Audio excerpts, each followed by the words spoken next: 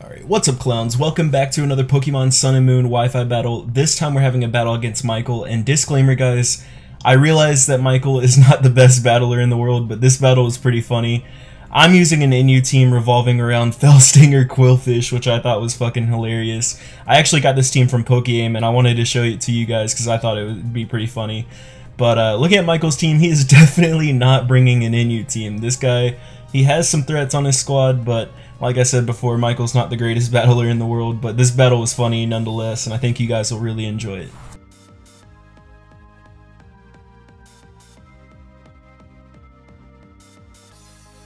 Alright, so the battle begins. I'm going to lead off with my Uxie, as Michael is going to lead off with his Ditto. So right here, this tells me he's not Imposter Ditto, because he does not change forms right away. So when I saw that, I was like, okay, it's just going to be one of those battles, so I'm just going to fuck around. So I'm going to go ahead and set up some rocks here, as he's basically going to have to transform here.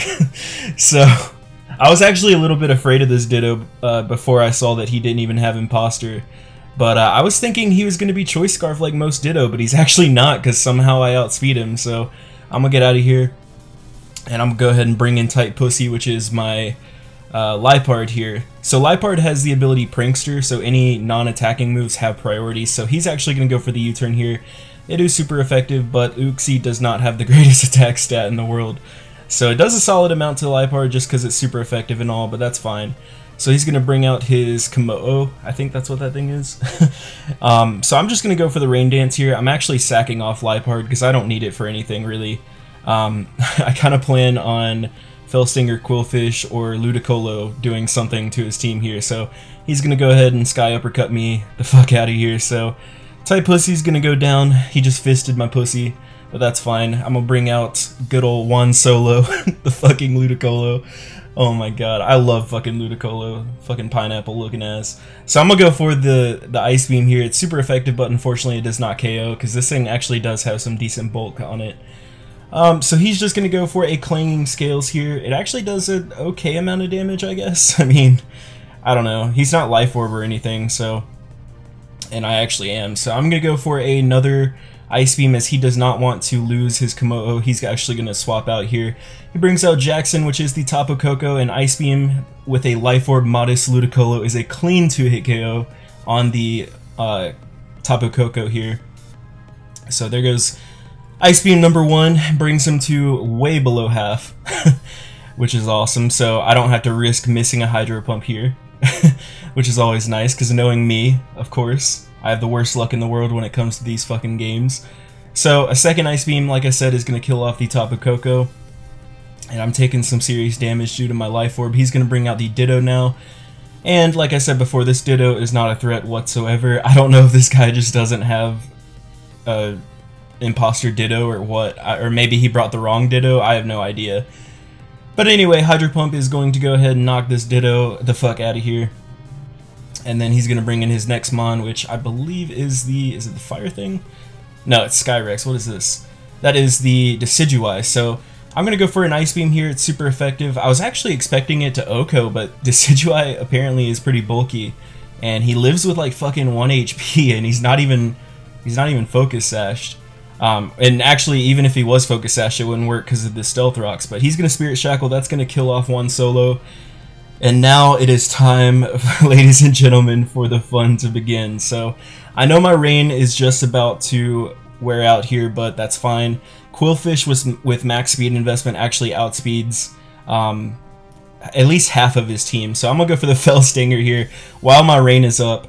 And uh, what Fell Stinger does is it's a really weak bug attack, but if it gets a KO, it raises your attack by three stages. So now my Qwilfish has monstrous attack, and it's in the rain for one more turn. So the next one he sends out is going to be Drago. So he's basically just sacking this thing off. Qwilfish is about to claim some lives here. Holy shit. So we're going to go for a Poison Jab here. If I wanted to be that guy, I probably could have gone for another Fell Stinger there. I wasn't sure if it would kill though. Um, I mean, eh, from that range it probably would have killed, but I don't need any more attack. Qwilfish is a god on its own. So he's going to bring out his uh, Incineroar here, but I actually outspeed him because I have max speed investment. And I'm going to go ahead, even... Qwilfish doesn't even need the rain to be a badass. so we're gonna go ahead and waterfall. That is going to obliterate this Incineroar, Incineroar, whatever. We actually get a crit there. That crit totally did not matter whatsoever. Um, and then his last mon is Wolf, and I wanted to style on this guy, so... Well, actually, he's going to style on me real quick. He actually pops the Z Crystal, um, and it goes for the Continental Crush on me, but I actually resist that. And Qwilfish actually has okay defense, which allows me to actually live this, which is wild. So it's gonna bring me, I think it brings me into the red, so it almost kills me, but luckily, like I said before, Qwilfish is fucking god tier. Qwilfish for Ubers, guys.